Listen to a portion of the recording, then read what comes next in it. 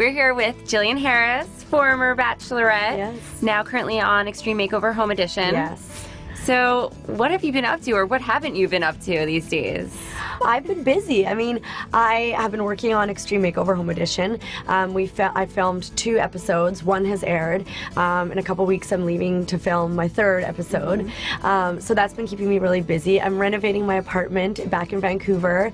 I still have my design firm, so I um, actually just finished Ali and Roberto's apartment, which was tons of fun. I mean, so cool. that was a really cool project. Um, I have a few small little design projects in Vancouver, and then I'm here in New York, kind of working on a few other things. So, looking back, you did The Bachelor and Jason's season, Yeah. and then you became The Bachelorette.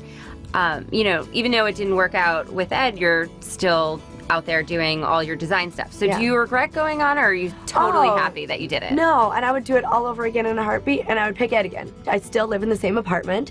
I still drive the same vehicle. I'm still like I eat at Subway because I try to save money. You know what I mean? I shop at Forever 21. Like my life hasn't changed that much, but I've had amazing, incredible opportunities, and to like work for Extreme Makeover and design homes for people who deserve it so much. I feel really happy being able to sort of spread that happiness to other people who um, are going through a tough time. What about Brad? Um, new Bachelor. Any thoughts on this? Um, I think it's going to be great. I mean, I'm very liberal about certain things, and it takes a lot for me to be hard on somebody about. So you would have given him a second chance if, just in terms of, okay, I'll, I'll, he should be the Bachelor again. It didn't work out the first time. Let's give him another shot.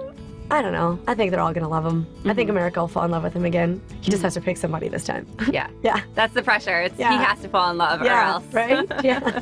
America knows you as Jillian, the Bachelorette. Yeah. What made they be surprised to know about Jillian Harris, just the girl? I can skin a prairie chicken. I grew, Okay. up, I grew up in a small town, and we used to go. I don't like hunting big game. I know a lot of people are against hunting, and I'm gonna get a lot of flack for this one. But I'm very passionate about eating, like organic. I get all my meat, and um, I try to, but I'm big in like getting meat and eggs and dairy from local farmers. Um, I've always been raised on wild game, and that prairie chicken that I can skin and eat has had a better life and has been treated better than any chicken that any of us have eaten.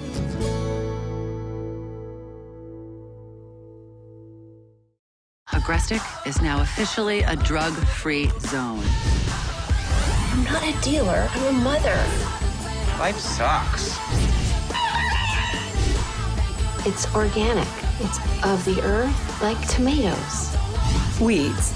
Sundays at 9, 8 central on TV Guide Network.